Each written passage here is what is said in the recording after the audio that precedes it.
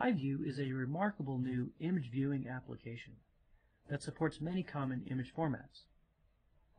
What makes HiView unique is that it is the first freely available image viewer for all major operating systems that offers fast interactive streaming of extremely large JP2 images.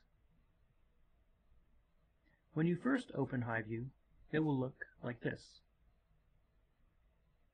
Now let's open a JP2 from the HiRISE website uahirise.org. We have tens of thousands of Mars observations, each with images of around a gigapixel or larger. I'll drag the link for a JP2 image onto the HiView main window.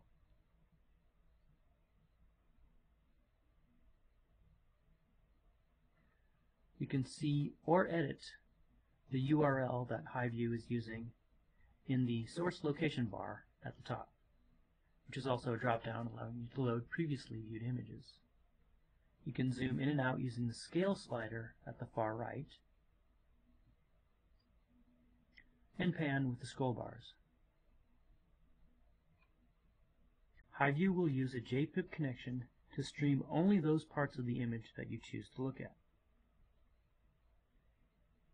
If you open up the Navigator window, you'll have a context view for panning and zooming.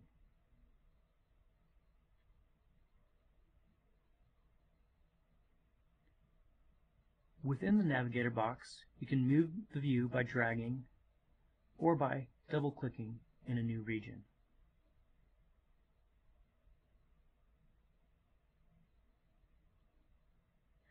If the new region is much brighter or darker, you may want to adjust the contrast. Open the Statistics window and choose the Default Contrast Stretch option under Data Map.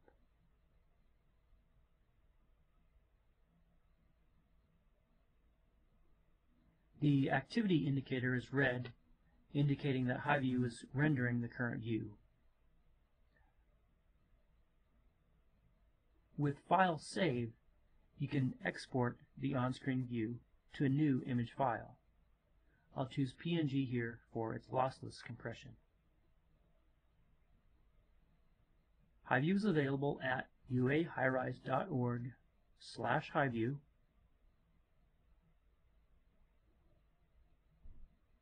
You can download versions for Mac, Windows, and Linux. Thanks for watching.